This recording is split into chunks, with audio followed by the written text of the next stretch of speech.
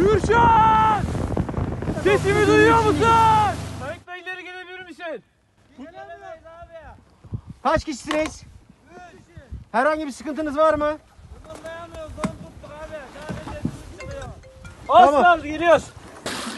Taraf batak abi. Beline kadar battı. Şimdi can yeleklerini arkadaşlar. Geçin bakayım. Şimdi gel buraya.